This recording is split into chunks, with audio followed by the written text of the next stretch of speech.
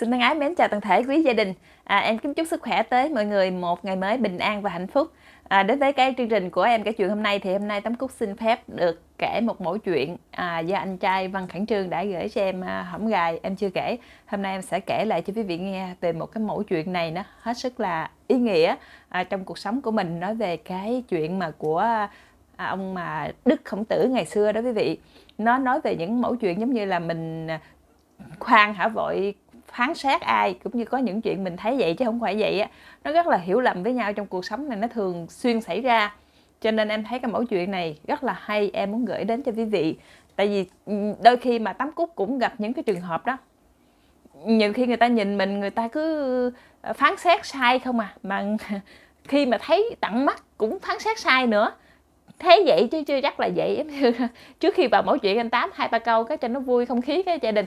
Giống như thế này có nhiều người á, biết sao không quý vị? Cứ nói là tấm cúc á, nó lên kênh youtube á, nó ngồi đặng nó cua trai. Tối ngày thấy nó lên đó, nó bẹo trai, nó cua trai. Trời ơi, nó quan em người ta cua em không chứ em cua ai đâu.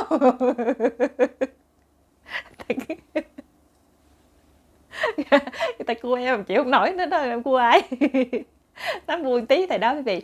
Khi mà em lên, em ngồi em kể chuyện vui, kể chuyện thứ lâm mà trong khi tấm cúc là cái đứa mà nó nó, cái tánh này nó rất là vui vẻ, nó cứ cười khè khè, ai nói gì em cũng vui. Ai vui với em em vui, mà ai không vui với em em cũng vui. Mà thậm chí người ta khó chịu, người ta thậm chí có người còn chửi em em cũng vui, em cũng cười nữa, tại người ta không hiểu mình thì ta muốn làm gì đó làm, thấy không? Chửi người có vui gì đâu, mình cười mình mới vui. Cho nên ai nói gì nói, ai nói em cua trai cũng được không có trai em cua là được. Em, thì em là phụ nữ em phải cua trai chứ không lẽ em cua gái? Đúng không quý vị, chuyện là em cua gái á. Là em mấy không có bình thường, còn nếu em cua trai là bình thường, tại vì em em một mình thì em có quyền cua trai. Đã thấy vậy chứ không phải vậy đây em chỉ làm vui nha quý vị. Đó là những cái em, ví dụ giống như là mình thấy vậy, nhưng không phải vậy, thì thôi em xin phép vào ngay cái mẫu chuyện của anh trai văn khẩn trương gửi cho em. Em xin phép kể cho quý vị là mẫu chuyện như thế này nha. Thì ở ngày xưa á có cái cái ông cái vị mà đức khổng tử này nè quý vị thì cùng với mà các đệ tử của ông đó là đi coi như là đi hành hương á. Nè mà ông ông ờ, đức khổng tử này là ông hay đọc sách đó thì ông hành hương cùng với cái đám đệ tử cái dàn đệ tử đi đó. Thì ờ, đến một bữa nọ đi vô cái làng đó thì coi như là ừ, trời đã xế chiều rồi. Cho nên là ông đức khổng tử ông mới nói là bây giờ thôi à, chúng ta tạm mà giống như là à, dừng bước ở đây rồi vô những vô nhà văn á mình xin tá túc qua đêm. Tại vì tối rồi thì à, sẵn vô mình à, mượn bếp mình nấu nấu cơm ăn. Nhưng mà đem theo gạo thì ít quá. Thì anh kêu cái những người mà đệ tử mà đi theo có người mà nó nấu đó thì đi vô cho mượn bếp của nhà văn nó nấu. Thì khi vô mượn bếp nhà văn nấu thì cái người mà phụ bếp đang nấu đầu bếp đang nấu. Thì không biết vô tình sao mà có một cái cơn gió nó lớn quá quý vị.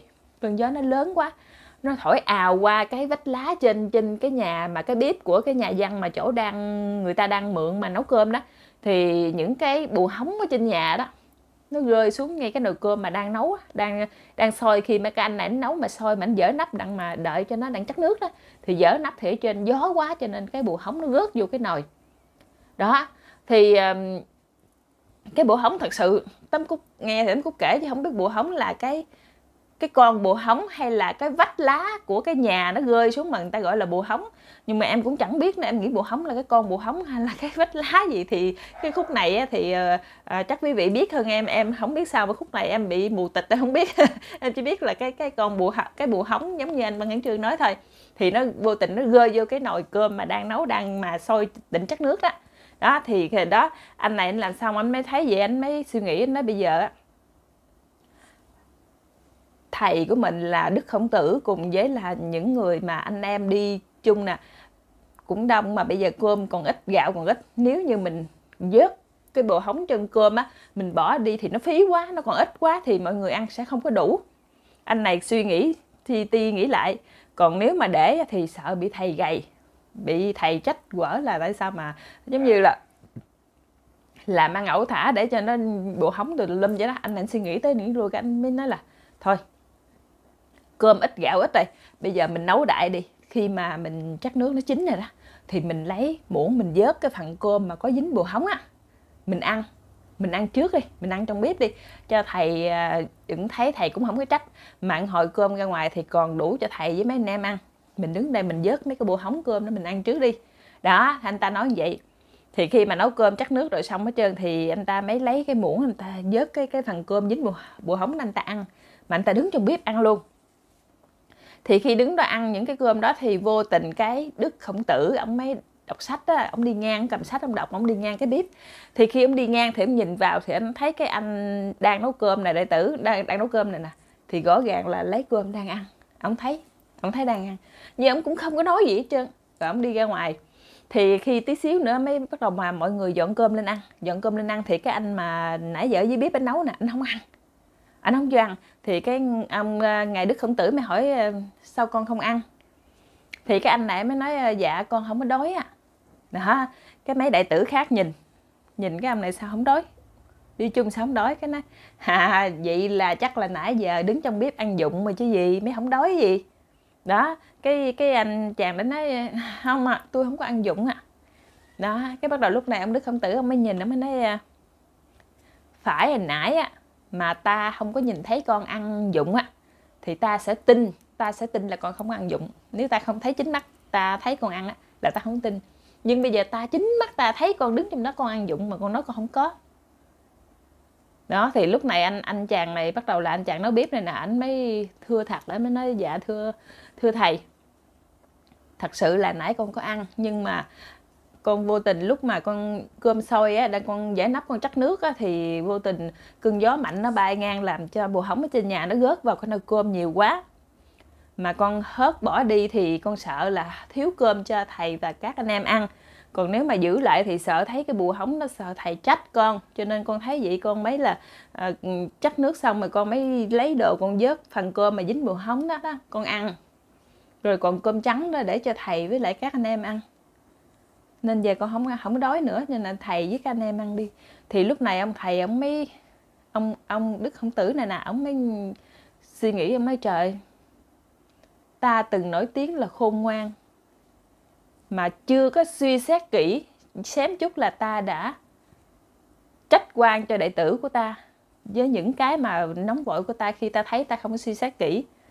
Xém chút là ta là người có lỗi kìa thì lúc này là cái cái cái ông thầy đó đó ông mới ôm cái người mà nấu cơm á, kiểu như là ông ông trách quan cho người này là cái kiểu mà ông chính mắt ông thấy ăn dụng rồi mà còn chối nữa. Đó, thì còn những cái người bạn đi chung á, thì lúc này cảm thấy mình hổ thẹn cho tự nhiên chưa suy nghĩ chứ mà đi trách móc cái người bạn của mình là ăn dụng rồi mới no hả anh nãy kia, mà trong khi chưa có suy nghĩ là cái câu chuyện nó như thế nào, là đã trách phạt người khác rồi. Đó, thì tự thấy hổ thẹn quá. Đó quý vị, thì đây là cái mẫu chuyện nói về những cái mà dù chính mắt ta thấy tai ta nghe cũng chưa chắc là sự thật. Cũng chưa chắc là đúng nữa. Nhưng khi mình thấy vậy nhưng không phải vậy. Có cái câu đó rất là hay. Em thích cái câu thấy vậy nhưng không phải vậy. Nhiều khi á mình mình thấy rõ ràng người đó làm à chính mắt ta thấy còn chối nữa không? Nhưng mà không có phải. Nó là như vậy đó quý vị. Thì cái mẫu chuyện này là à, của anh Văn Khẩn Trương. Em cảm ơn anh trai rất là nhiều. Cái à, à, ý nghĩa trong cuộc sống rồi đặng à, cho mình hiểu nhau hơn trước khi mà trách móc ai hay là phán xét ai một cái điều gì đó. Thì à, nên suy nghĩ lại trước khi lời nói mình ra tại vì đôi khi mình lời mình nói ra là nó thốt ra rồi là mình không có lấy lại được. Là nó sẽ theo cái người kia hoài đôi khi mình làm tổn thương người ta nó theo người ta hoài à. Đó, mình cho người ta mượn tiền có khi mình còn lấy lại được chứ còn mà mình nói chuyện ra là không có lấy lại được. Nói gì? Thì bây giờ em xin phép kể cho quý vị nghe tiếp một mẫu chuyện đó là có nghĩa là lỡ dịp ha, quý vị? Thì hai vợ chồng như thế này, hai vợ chồng đang ngủ đang ngủ cái tự nhiên cái ông chồng thấy bà vợ bà tay chân bà quơ quơ quơ quơ quơ quơ lên. Bà la ớ lên. Cái ông chồng lúc này ông quay qua ông nghe vợ la quá trời, cái ông ôm bà vợ vừa lòng. Ông ôm vô hỏi gì vậy em sao vậy? Em có chuyện gì em? Cái bà vợ la, trời ơi, anh ơi anh ơi, em sợ quá cái ông chồng nói ờ ừ, có có có anh đây làm gì sợ sợ gì nó? Nghe nó em đang ngủ em đang ngủ mà em thấy em rơi xuống địa ngục em rơi xuống 18 tầng địa ngục luôn em sợ quá. Ui, mai là anh ơi em lại chúng tôi là em rơi xuống 18 tầng địa ngục chết em luôn rồi. Đó lúc này ông chồng bắt đầu ông mới cũng vỗ vỗ lưng cái trong lòng. Đó, trời lời trời cơ hội hiếm có như thế này mà không biết bắt cơ hội để cho nó lỡ dịp. Trời ơi, là trời nó xuống 18 thằng đi ngục lị mà tôi ôm lại chi? Tôi biết thì tôi cho đi luôn. Lỡ dịp. Làm hại 18 thằng đi ngục lỡ dịp.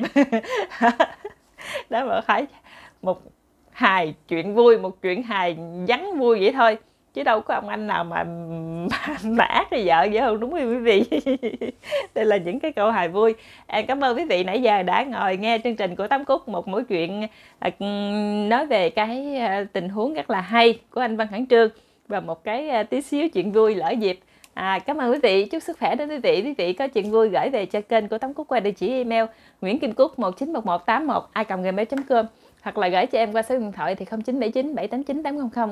Tâm Cúc xin cảm ơn quý vị rất là nhiều. Em xin chào và hẹn gặp lại quý vị ở chương trình em có chuyện ngày mai ạ. À. Em xin bye bye ạ. À.